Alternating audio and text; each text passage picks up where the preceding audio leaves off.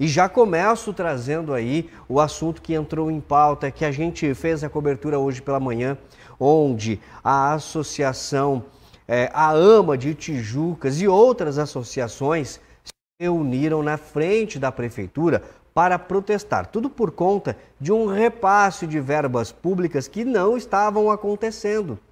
Tudo isso repercutiu porque, segundo eles, a prefeitura deixou de pagar. E aí o prefeito fez questão de atender todos estes que estavam ali para que o assunto pudesse ser esclarecido. A AMA está para fechar, quase 600 mil reais na mão do prefeito e ele não nos quer pagar. Reclamando a falta de pagamento de emendas por parte da Prefeitura de Tijucas, pais que fazem parte do Ama Tijucas protestaram em frente à Prefeitura na manhã de hoje. A intenção era pressionar o prefeito para que o pagamento pudesse ser efetuado. A presidente Lucilene Campos explicou a falta do recurso e pediu para que o repasse pudesse ser feito o mais rápido possível. A gente está aqui hoje, né, reunido, fizemos essa manifestação, reivindicando o prefeito as nossas emendas impositivas. A AMA está para fechar, nós temos um dinheiro na mão dele, não só nós, as outras instituições também. O Lar, Santa Maria, a PAI, né?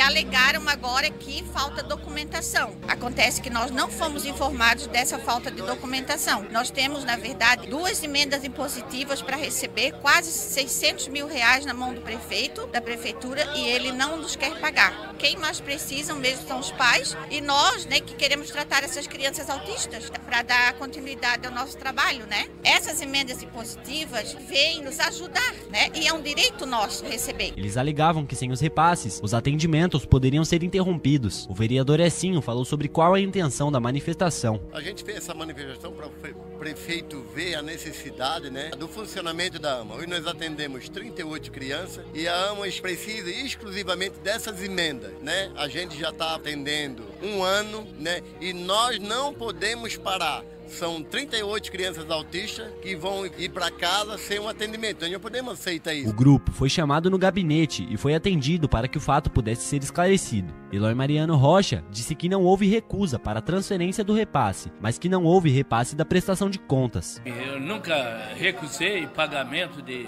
de emendas. É claro que a gente tem certa dificuldade, mas nós, dentro dos nossos esforços aqui dentro, a gente vai repassar. Ainda mais a AMA que a gente tem uma consideração, eu na qualidade de professor, por 40 anos, vivi isso praticamente sem ajuda a essas crianças. E hoje tem esses órgãos, como eu vou abrir um centro de especialidade também. E assim, ó, o dinheiro público a gente só repassa quando tem prestação de conta de, de, de, repasse anterior. O que não aconteceu com a AMA, que não aconteceu com a PAI, o que, que ficou acertado hoje? E façam a prestação de contas. Claro que isso é encaminhado ao Tribunal de Contas para ver a, a veracidade da, desta prestação e posteriormente então estarei ah, repassando uma nova emenda que eu sei que é de, de muita importância para a AMA. Essinho também falou que caso não seja resolvido, o grupo deverá voltar e se unir e protestar reivindicando o repasse. E a prefeitura deve para nós 600 mil reais de emenda, cara. O prefeito se comprometeu e agora a gente vai cobrar.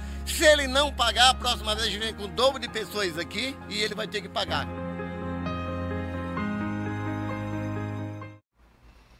É, realmente a gente espera que isso seja resolvido o mais rápido possível. Afinal de contas, né, são muitas crianças que necessitam desse atendimento e o atendimento não pode ser interrompido. Mas foi esclarecido aí que assim que a prestação de contas for concluída, haverá ser deverá ser feito este repasse.